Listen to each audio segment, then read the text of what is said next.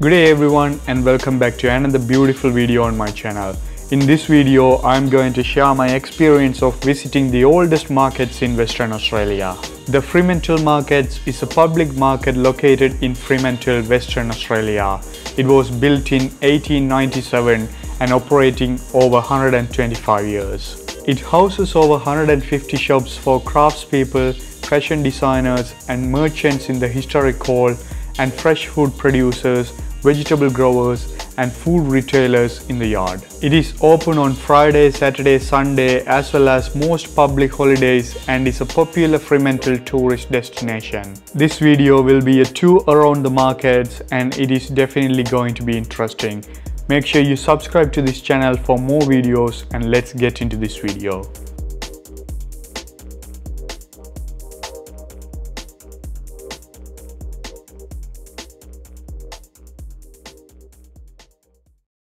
Fremantle markets are located in a coastal town called Fremantle in Western Australia and the market runs in an old building and a yard next to it. The old building is architecturally designed well and you can see the name of the markets, year and few other details around the building in all the entrances.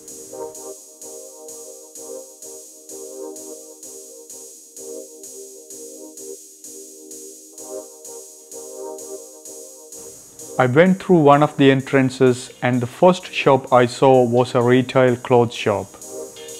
You can see a lot of freestyle clothes, hanging fabric paintings, scarves and blankets in that shop. There were also many ornaments for women sold by them.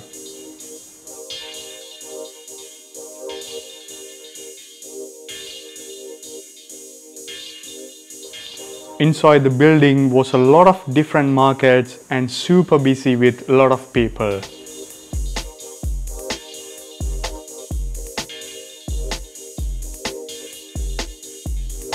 Also, inside the hole in the ground, I found some artworks of Australian Aboriginal people.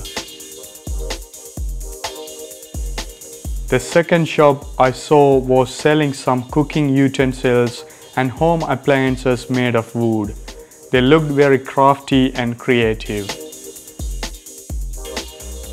The next shop was selling some beauty products made of turmeric.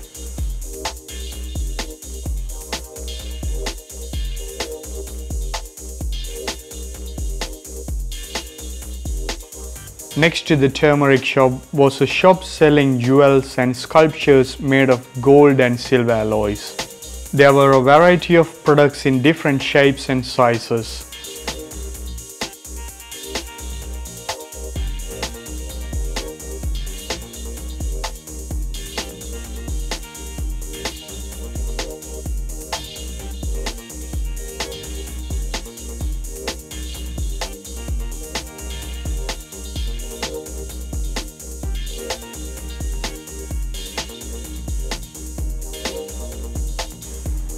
Next to that shop is a shop had a huge variety of body and personal care products.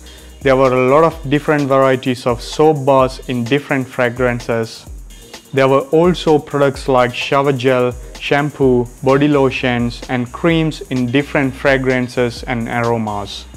All those products were locally produced and that shop smelled amazingly with all their products. The next shop was a coffee shop. There were different kinds of freshly produced coffee beans were displayed in Hessian sacks. There were flavors like caramel, hazelnut, chocolate malt, French vanilla, butterscotch and many in that shop and they allowed us to pick any flavor by experiencing the aroma of them.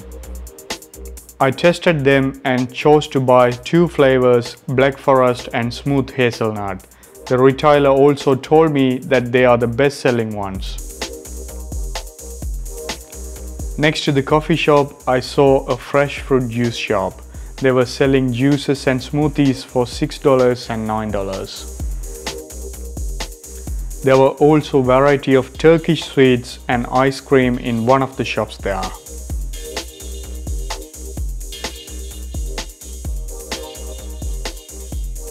Herb Spice Tea Shop had a lot of different flavored tea powders and I was quite surprised to see how many varieties they have had.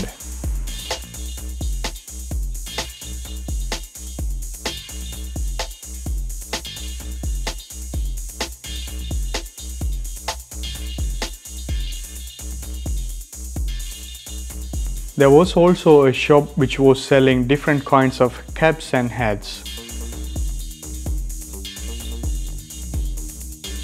Coming past that is a shop with different kinds of colorful candles and perfumes.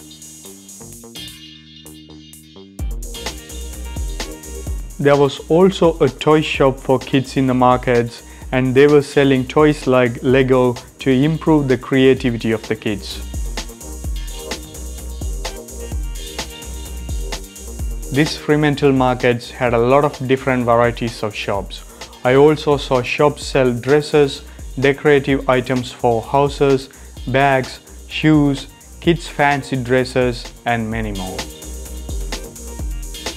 In one of the shops there, there were a lot of beautiful paintings for sale.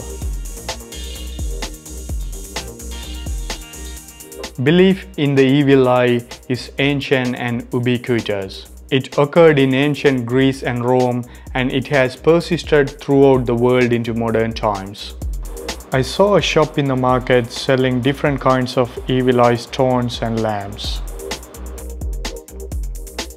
It is believed that this symbol will give you spiritual protection and brings good luck.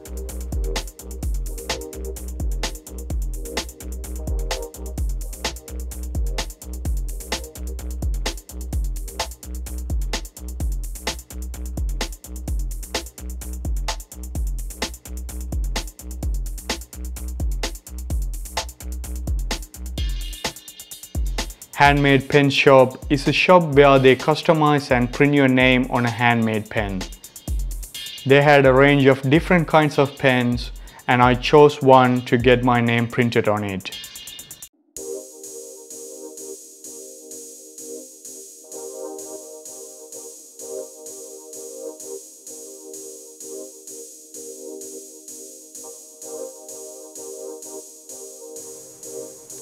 As a memory of visiting that place, I bought that and it was really a good handiwork. There were also a shop selling different kinds of ornaments and jewels like earrings, bangles, rings, bracelets and nose pins. Another shop was selling beautiful reusable candles. They were packed in beach sand in different colors and they looked very beautiful as well.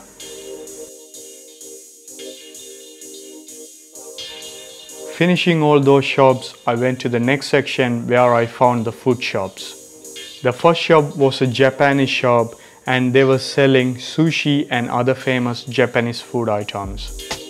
I bought a chicken nigiri and a sushi. Chicken nigiri is made of a fried chicken piece is tied onto sushi rice with seaweed and seasoned with sesame seeds, vinegar and mayonnaise. I tasted it and it tasted very nice, especially the sauce flavor. The next one I tried was the avocado and salmon sushi. It tasted very fresh, raw and not a bad choice either. In Australia, you can find different cuisines in any markets regardless of the city. Fremantle markets also had a lot of different food shops and juice shops.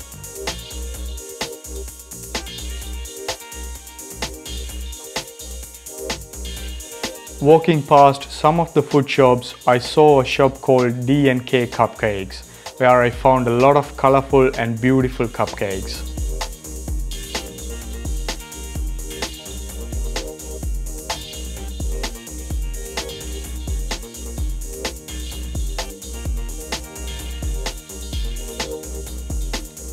They were also selling mini cupcakes, one for $2.75 and four for $10.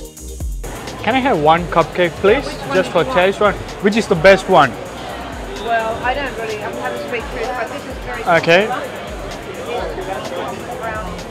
Ah, chocolate brownie. Yeah, right. Yeah. I'll, I'll buy that one. Yep. 275. Yep. Thank you. Thank you very much. After the suggestion from the shopkeeper, I bought the best-selling chocolate brownie cupcake and tasted it. It was actually good, very sweet and rich in chocolate flavor. In the next section, I found few shops which were selling fresh fruits and vegetables. Artisan Dough is a bakery you can find inside the markets. There were a variety of food items like bread, bun, cake, brownie, donuts, pies and pastries in that bakery. They all were freshly baked and being sold there. There were also a couple of flower shops in the markets. As it was summertime, there were not many flowers displayed and I reckon there will be more beautiful and colorful flowers sold during the winter season.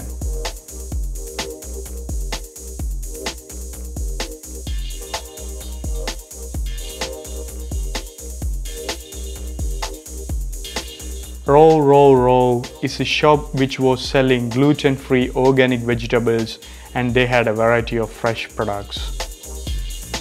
There was also an Indian food stall in the markets. They had rice and curry, samosa, puffs, roti and other authentic Indian food items. The last shop I found in the markets is a very interesting place.